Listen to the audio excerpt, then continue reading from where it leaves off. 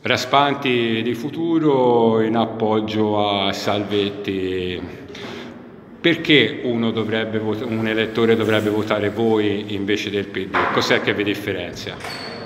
Col Partito Democratico ci sono delle differenze che eh, abbiamo chiaramente misurato nel corso di questi anni, dal 2014, 2013, 2014 in poi, ma ci sono anche diversi punti di contatto che sono stati costruiti attraverso un lavoro paziente di dialogo e di confronto che ha fatto sì che si potesse arrivare su una base programmatica condivisa in discontinuità con il passato a individuare appunto la possibilità di un percorso comune e l'individuazione di una candidatura comune. Noi ci siamo sempre caratterizzati per forte, un forte accento sui diritti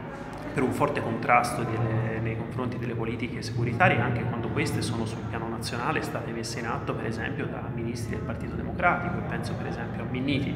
Abbiamo avuto diverse volte in passato occasione di ehm, diciamo, scontrarci o di confrontarci anche in modo eh, critico con il Partito Democratico su tutta una serie di argomenti che riguardano soprattutto quelli che sono stati in questi anni degli orientamenti nazionali. Mi sembra che il Partito Democratico abbia avviato sia sul piano nazionale sia sul territorio un uh, percorso di cambiamento significativo, credo che ne abbia dato testimonianza sia sul piano dei contenuti sia sul piano degli atteggiamenti e credo che oggi queste differenze possano essere un valore aggiunto all'interno di una coalizione che ha diciamo, una, un obiettivo comune, che è quello di dare a questa città un progetto politico che sia effettivamente in grado di rappresentare un'alternativa al governo, al malgoverno di chi in questo momento siede al,